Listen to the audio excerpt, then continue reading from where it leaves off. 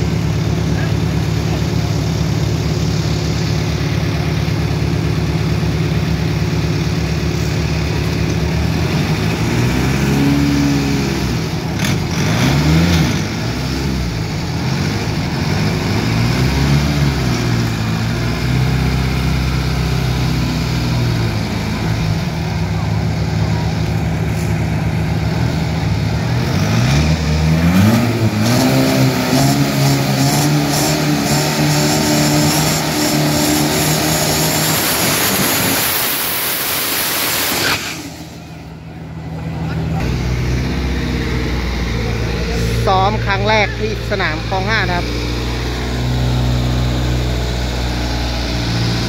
วันนี้ก็ไปวิ่งที่ใต้มาแล้วนะวิ่งโชว์มาแล้วนะครับ วันนี้ทำการซ้อมนะครับ